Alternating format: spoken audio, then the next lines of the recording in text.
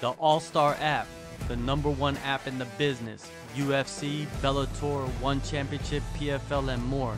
Get the app right now. Link in description. All right, let's uh, Chad, man. I, I want to first off talk about uh the new facilities for CMMA, man. Eight thousand square feet. That is incredible. That's a huge, massive place. You know, I've been seeing the videos online. Just talk about the transition from the old place to the new one. Yeah, for sure. Um, so we just moved into our our new headquarters, eight square feet.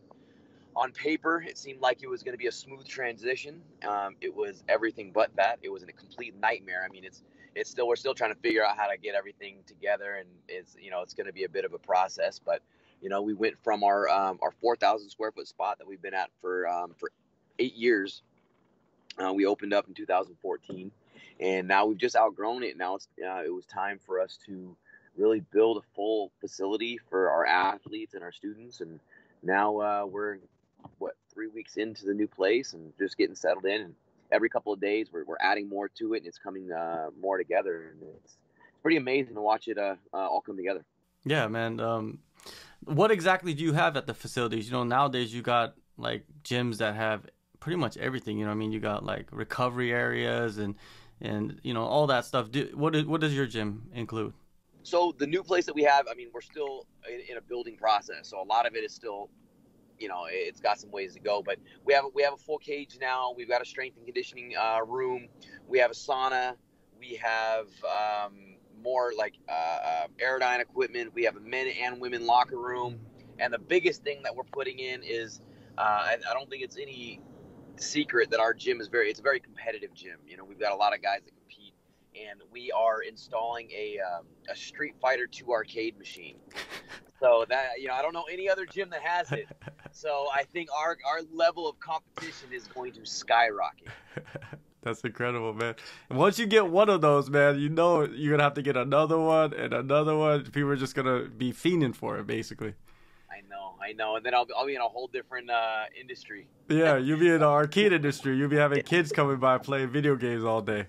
There you go, right? Not not bad, man. Talk about the team, man. It's it's grown you know over the years and and that's why you know that's probably part of why you had to go to a bigger facility a better facility um, has it been incredible for you man just the journey of just building that team yeah man like you know for me i've been a competitor my whole life and when i stepped down from being an actual hands-on competitor eh, i needed something to fill that void and becoming a coach was that void and when i stopped fighting in 2019 i dedicated my energy to the same thing. So it was mm-hmm. like I had to go from full time. I'm doing this with with a with a with a goal in mind, uh, competitor, to that transitioning into being a coach now, and uh, it's it's it's going great. You know, we've got guys in the UFC, we've got guys in Bellator, we've got a ton of up and comers. I've got uh, amateurs that are uh, uh, excelling and getting ready to go pro. I've got some that have gone pro, and even tomorrow I leave for Las Vegas with a couple of my guys. Uh, we're on the the USA team. I'm one of the coaches for the for Team USA and the World Amateur World Championships that are going to be coming up in in January. So you know we got a lot of amazing things going on, and that was definitely one of the reasons why we had to open a bigger place. Because I mean, any given day we have 25 to 40 uh, competitors on our mats for our team training, and uh, it's it's as far as I'm aware, you know, we we have one of the biggest up and coming programs in the state and we, you know, we're right there competitively with some of the biggest schools in the world. How is it balancing the amateurs with the pros, man? I've talked to many coaches, and it is a handful just to just to handle the the different personalities, you know.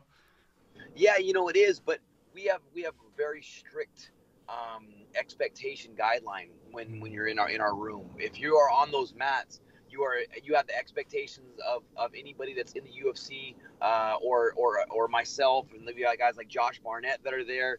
And you know, if you are not going to give us what we would do ourselves, then it's not the environment for you. And there's nothing wrong with that. Yeah. You know, some gyms are for some guys and some aren't. And you know, we we have very very high expectations of everybody that gets on those mats because I want people to succeed um, when they're when they're going into this this very um, unforgiving sport. And with the with the knowledge and experience of the of the coaches that we have, you know, we're telling these guys, look, if you're gonna bullshit, don't do it here because this is not the place for it. We're not we're not here to babysit. We want people that are really gonna give hundred percent and try to make something of the sport. Do you feel like since you are a, a, former competitor, you know, I mean, a guy that has fought for many years at the highest level, that there is a different level of respect that comes with that as a coach?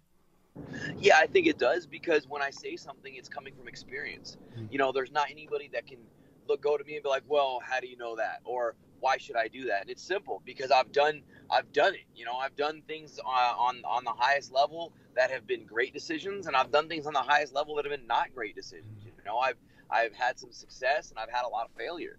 And you know, I my goal is to give these guys a tool so they don't make the same failures as I have, and they can really build their own story. So, you know, yeah, definitely. Like my experience as a competitor is something that I think gives people confidence in what we're doing and what they're doing. Yeah, uh, I've you know I've spoken with a few coaches that come from kind of like your background and they do they have their own gyms now and they have teams that they're building and one thing that's common about that is that that catering to people thing like they don't want to do that they don't want to cater to people and there's people that run gyms, I'm not going to say names, but they cater to certain individuals and, and I think that creates a bad environment. Do you have you ever seen that at like from afar in gyms? Yeah, no, absolutely. You know, many gyms have like click based um, mm-hmm. uh, groups. And that's one of the biggest things that we are are focused on is that we are a collective. We we are a team that trains together. Nobody's bigger than the team. Mm-hmm. Understand that because when you need that team for your training, as you start getting into the bigger fights, you need your team to be there for you. You don't want it to be like, oh, fuck that guy. He's a piece of shit because he does his own thing. It's like, no, we all work together. That's also one of the things that we, we talk about. Like, I don't care if a world champion comes into our gym. If he's uncoachable and he can't be a team player, I don't want him. It's too much of a headache. There's no amount in the world uh, of money that's going to make me want to coach guys that are going to make me want to babysit them or hold their hand. I'm not into it for this. That's not how I was brought up. You know, like when I was starting out, it was literally like we were in the gym three, four times a day. There was no money in it. You didn't have to beg me to get into the gym. It was because I, you know, we we we love this. You know, we were trying to pursue something that was all about passion. And I have zero desire to have to beg somebody to be in the gym. I can't do it. I won't do it. Yeah, yeah, and you know, it's and it's better to I think to create your own champion, right? From the from the ground up. You know, if if, if you're if you're fortunate enough to, absolutely. Yeah. You know, but you know that they're going to go on their paths, and they're going to go on their journeys throughout this whole all time, and um, you know, as long as you can keep a culture around those athletes, that because that's what it's about. It's about teaching culture, and and once they understand the culture, that's how you build people up, and they have a culture around being a, a, an actual athlete as a fighter. Too many of these guys they want the clout for whatever that means hmm. to go on social media and talk about you're a professional fighter. But none of them actually live the life. They don't have the culture of it. There's a lifestyle. And that's the biggest thing that i think if you take away from building a guy from the ground up is that you teach them the lifestyle of it. And that's something that regardless of accolades later on that's something that they could take away for the rest of their life and be like i did that the big topic in, in mma right now and you've probably seen it and, and been a a victim of it is is the judging, right? The the past couple weeks have there's been some some controversial decisions. Now, what are your overall thoughts on like how they judge fights? Do you feel like every judge is from they're they're like looking at the same criteria? Nah, every state is different. Every show is different, you know, and it's unfortunate because a lot of guys' careers are tainted because of decisions. You know, mm-hmm. like one one wrong call you know, really, really does change your life. You know, if you had a chance of becoming world champion, that's life changing. You know, and um, it's it's really unfortunate. You know, these judges don't go to recertification training. They don't do these things. Half of them don't train. You know, and it's and it's it really sucks. And then people say, well, then you know, don't leave it to a judges. And I understand that statement, but the, but the thing is, like, so you're telling me that I can't give it to a guy that that's their job. Their job. That'd be like telling the fighter, well, don't don't leave it to them to fight well, that's what we're here for. The mm-hmm. judges are supposed to be there and do their job, but they're so inconsistent. It's ruining guys' careers. So it's it's really unfortunate the way it is. And uh, of course, you know when you're fighting against the best guys in the world, you're trying to finish them. Sometimes you can't. The guy's really good. You're really good, and the judges should be able to like do the right things and have a, a set standard of, of what's going on, but they don't. Yeah, I think a lot of people don't understand that at the highest level, it's extremely, extremely hard to finish another guy. You know what I mean? Like, I'm surprised that there are so many finishes in in in Bellator in the UFC, right? Because there's so many guys that are so good and so skilled in everything. They're so well rounded, right? Um, right. What what about um, open scoring? Do you feel like that would help in, in any way? I I, look, I I think it will to a degree. You know, at least you know if you're losing or not. You know, you don't know where it's gonna go. I think it gives you an opportunity for it. Um, I also think that there needs to be replays. We need to have some kind of back. Every other sport in the world has it. Why do only certain states have it? It's, it's stupid. You know, like uh, open scoring could help, replays can help, but also just constant education for these referees and judges and having a criteria what allows you to be a judge. You know, like in a ref. Just because you've been doing it for 20 years doesn't mean you know what's going on. It doesn't mean you know, you know, um, anything about jiu-jitsu. You've been a boxing ref. Great, cool. How do I know? Like, you don't know what's going on on the floor. That, that's not fair to the ground guys. Like, we actually lost a fight recently where the referee told me, well, they couldn't see because the uh, the takedown happened on the other side of the cage, and they couldn't see if there was any damage being inflicted. Um, but on the feet, they they could hear the leg kicks, so they ended up going the other direction in that round. I'm like, how does that make sense?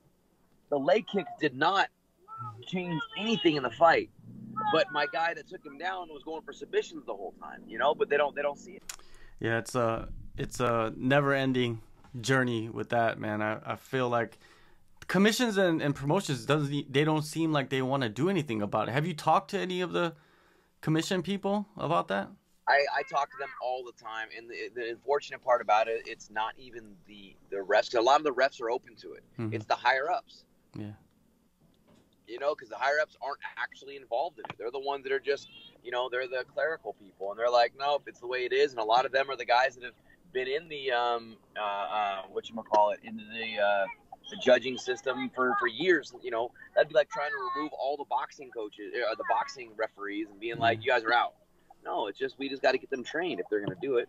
Yeah, that's. I think yeah, the uh, education, like you said, is is probably going to be the the best uh, solution to this. Um, Chad, appreciate the time, man. Everybody, go download the AllStar app in the descriptions. Always good catching up, man. I'll hit you up and uh, have a good rest of the day with the fam, man. Sounds good. Appreciate it, brother.